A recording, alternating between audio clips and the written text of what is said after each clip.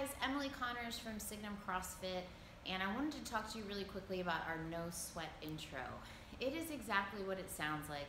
You're not coming in and being thrown into a workout that you can't handle. You're actually not working out at all. It's really just you coming in and doing a meet and greet with Rob and I um, to talk about your fitness and nutrition goals and come up with a plan to get you there. Whether it's one on one personal training, possibly um, it's you and your husband or your best friend coming in for a semi private training session, or perhaps it's, perhaps it's our group CrossFit classes. Um, these are small group classes. We cap them at six to eight people, so there's always uh, enough attention on you. The other thing we're gonna do during the free no sweat intros talk about nutrition. We'll do a quick nutrition consult, figuring out what you're doing now, what some of your roadblocks or what some of your issues are around nutrition, and try to come up with a game plan to get you on track.